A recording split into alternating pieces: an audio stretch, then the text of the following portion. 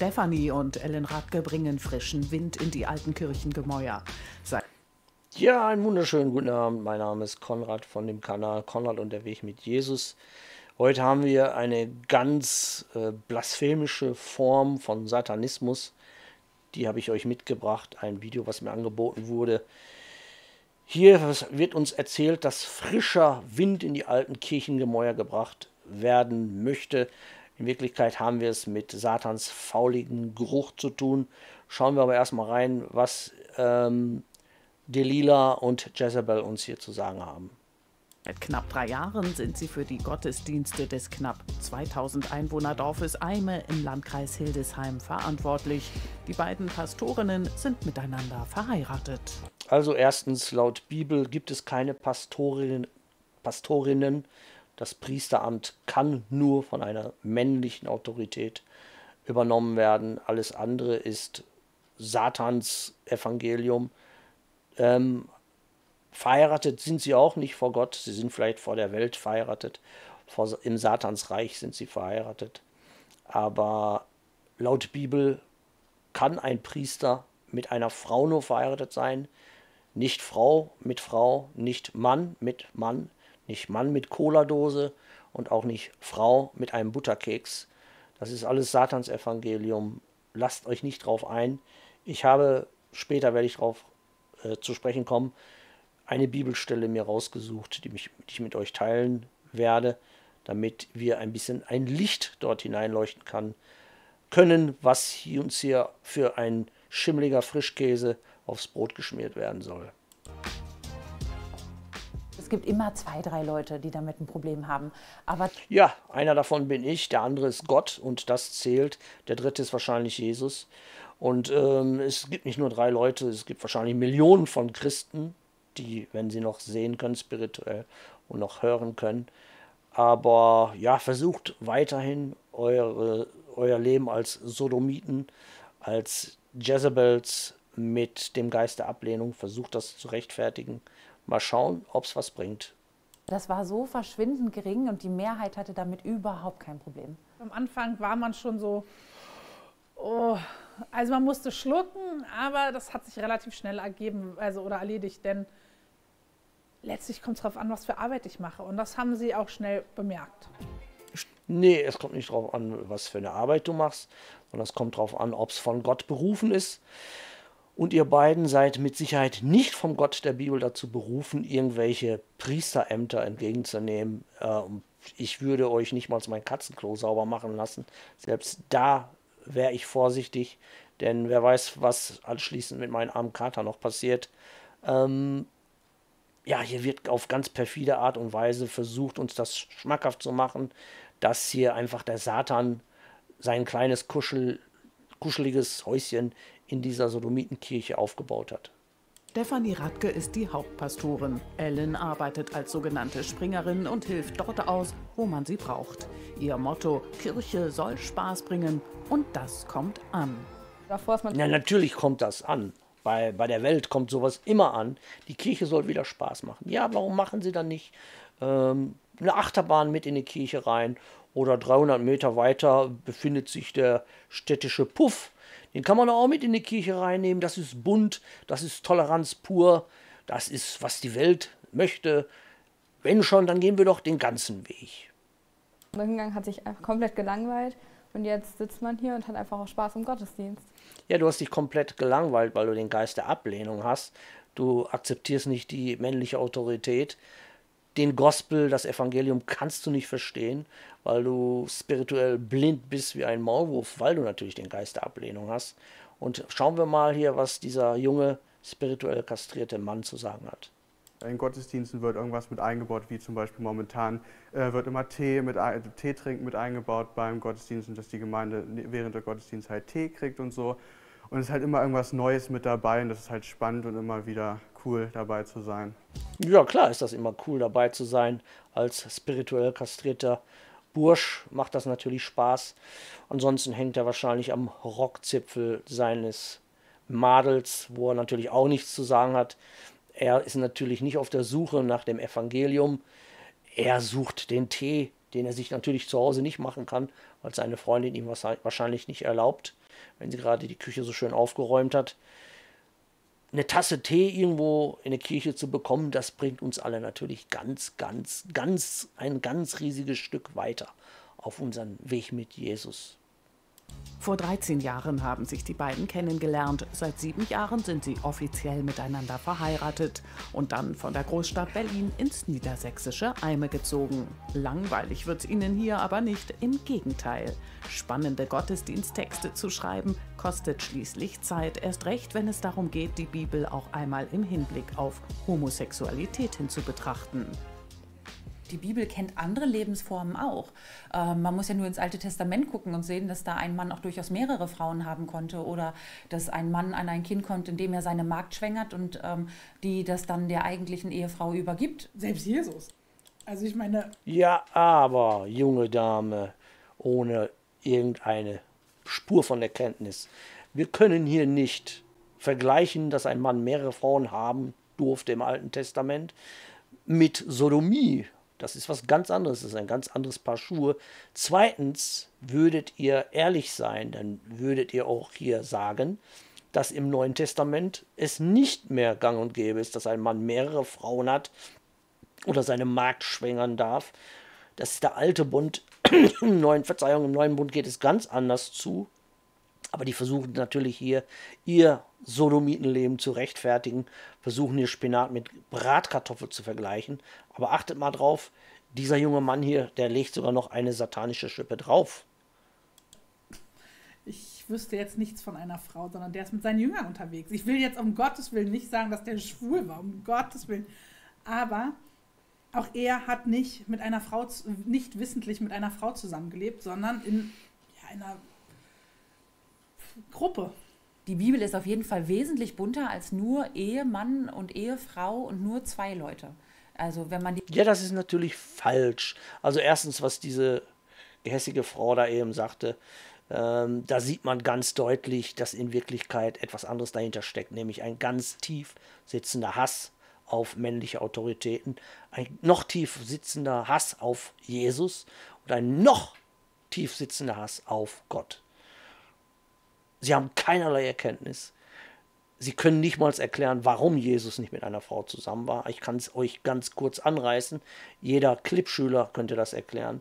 Ganz einfach, weil im Gegensatz zu diesen beiden Sodomiten, Frauen, war Jesus nicht auf dieser Welt, um, seinen, um seinem Fleisch jegliche Art von Lust zu gönnen, sondern Jesus war auf dieser Welt, um den Willen Gottes zu tun das beinhaltete halt auch, sein Fleisch komplett zu verweigern.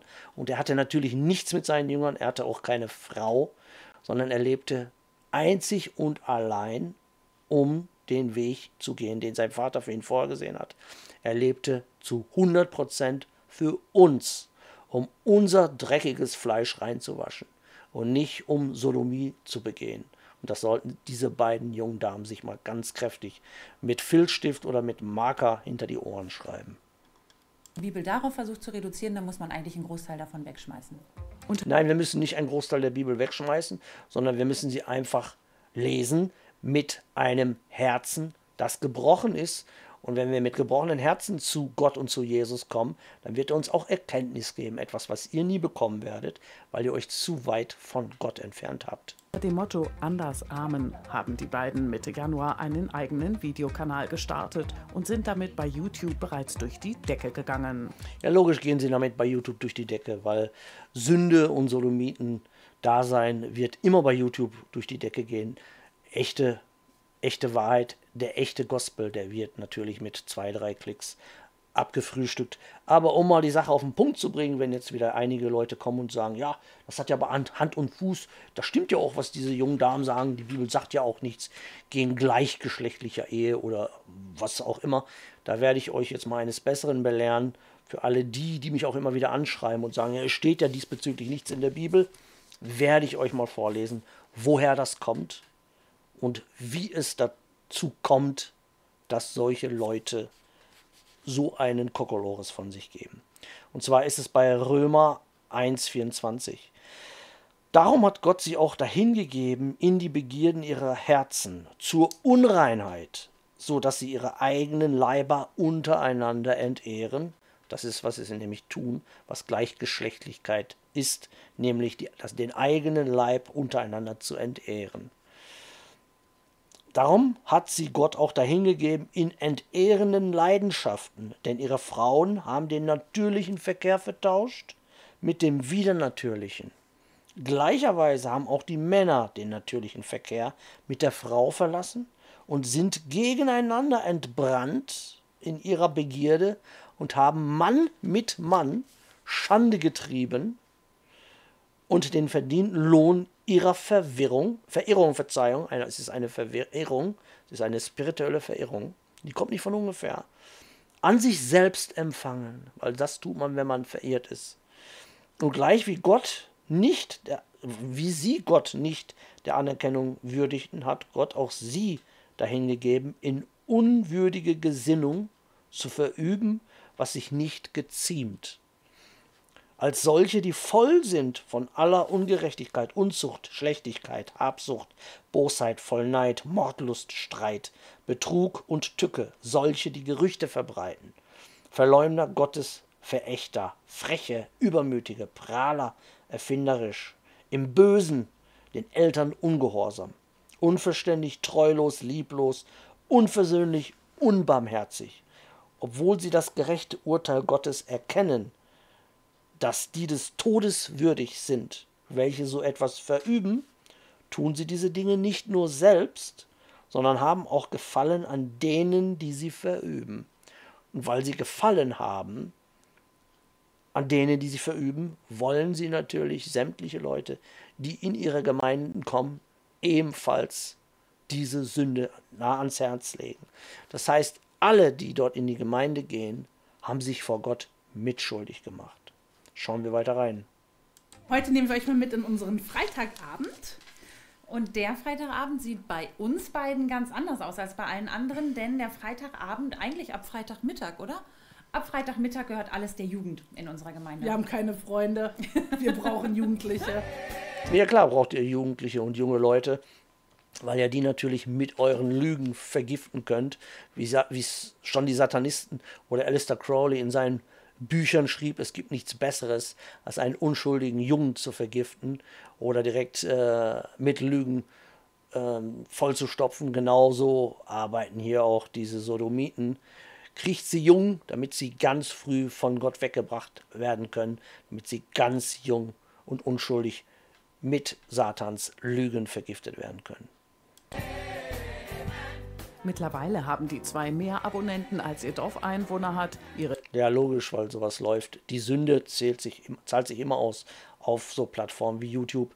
Ihr könnt ja mal äh, eine Stunde Rülps-Videos machen, da werdet ihr Millionen von Klicks kriegen. Themen sind bunt, genauso bunt wie ihr Leben.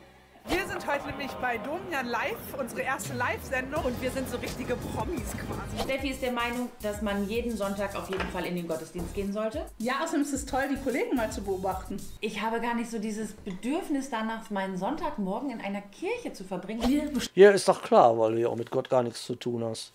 Du dienst dem Herrn dieser Welt, welcher Satan ist.